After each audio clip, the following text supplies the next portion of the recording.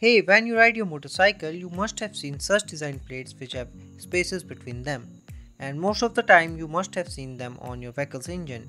So let's see what is their name and for what purpose they are used for.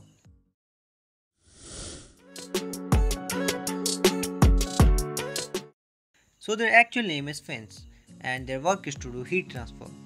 As we all know when the engine operates it generates a lot of heat and to reach that heat in the surrounding fins are used.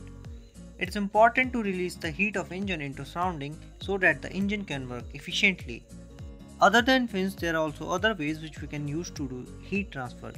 But in the entry level segment of two wheelers most of the time fins are being used to do heat transfer from engine to the surrounding. So let's see how fins do their job. Actually this is the process which happens there. When you ride your bike, the cold air gets accumulated into those air pockets and it transfers engine heat to the surrounding and since air is cold, it transfers engine heat very fast to the surrounding.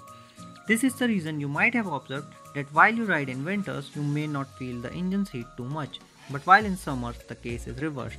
Now as the cold air gets hot, as we know we are riding the bike and air always flows, the hot air gets replaced with cold air and the process which we have talked earlier goes on and hence fins keep your engines cool. And this is actually called air cooled engine since it have only get fins and fins to heat transfer with help of air.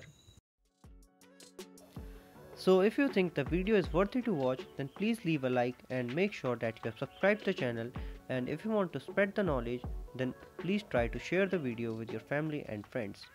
So till now thanks for watching.